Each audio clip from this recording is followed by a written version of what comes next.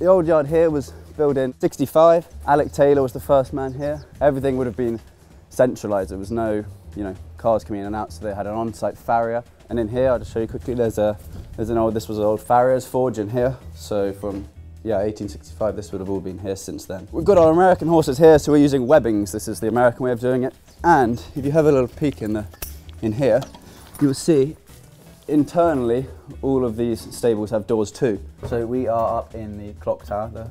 This is the, the mechanism for the clock, which there's one chap here who still who actually works for us on the moment at the stud, and he's been here for, for 30 years, and he is the only person who knows how to do it. And it works by these weights here, which obviously he winds up and then they over the course of the week gradually lower and that's what that's what tells the time of the clock. For these american horses now it's it's obviously completely different. You have american barns where we normally train them. We have a shed row and we walk them around.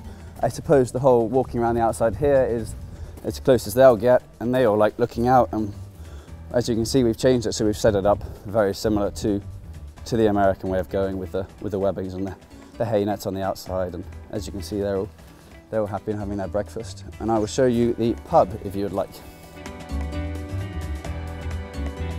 With everyone on site, uh, my grandfather put this in, they had to have a bit of fun and driving into Marlborough, getting caught having a few drinks behind the wheel was probably not wise. So what they made was their own pub on site. This was uh, the old pub and it used to be open after every big winner or on Thursday and Saturday nights.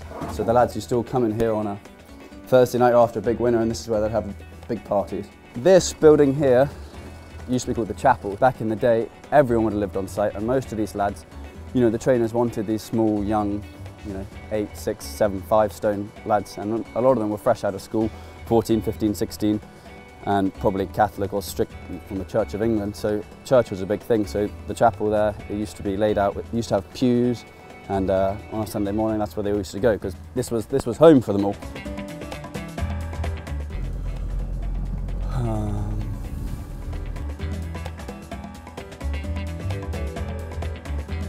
Let's strike the tiger.